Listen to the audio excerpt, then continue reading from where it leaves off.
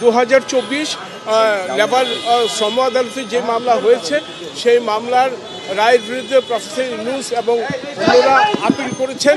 Appeal মঞ্জুরির সময় ও ওনাদেরকে জামিন দিয়েছিলেন ধার্য তারিখ আজকে পর্যন্ত।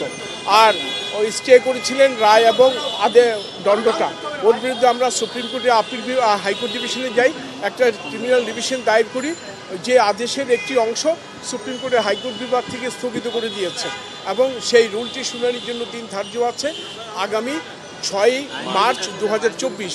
ইন দি মিন টাইম আজকে যেহেতু ডেট ছিল, আমরা আদালতকে ইন্টিমেশন দিয়েছি, হাইকোর্ট ডিভিশনের জাবেদা নকল সহ এবং আমরা সাবমিশন করেছি। আমাদের আগে তারা সাবমিশন করে বলেছে, ওনারা জামিন চেয়েছে, আপিল নিষ্পত্তি না হওয়া পর্যন্ত।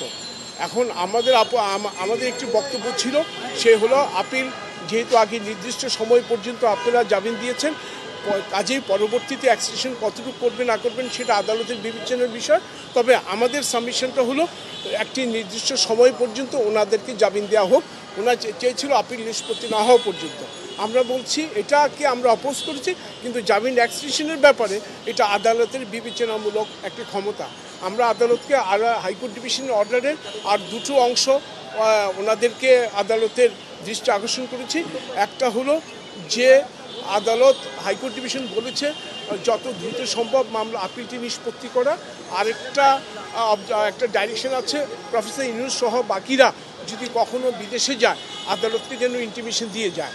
সেই কথাটা আমরা হাইকোর্ট ডিভিশনের আদেশের অংশটুক আদালতকে পড়ে শুনিয়েছি এবং আদালত এটা দেখেছে এবং আমাদের দরখাস্ত নথিভুক্ত করে রেখেছে এবং আদালত আজকে ওনার জামিন বর্ধিত করেছেন।